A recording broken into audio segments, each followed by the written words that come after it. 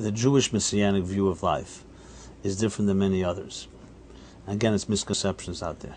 In general, there are four schools of thought when it comes to messianic vision.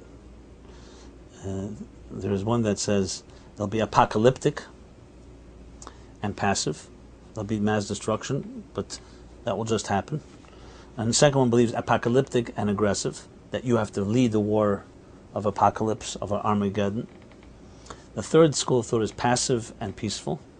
And the Jewish point of view is passive, I'm sorry, is aggressive but peaceful. The Jewish view is articulated by, by Maimonides, and he says very clearly that the world doesn't have to go through any upheaval, does not have to any destruction. It's a change of consciousness. That instead of seeing materialism as an end in itself, they'll see spirituality as the final end. So yes, there are other views which I'm not going to elaborate on that talk about uh, mass destruction.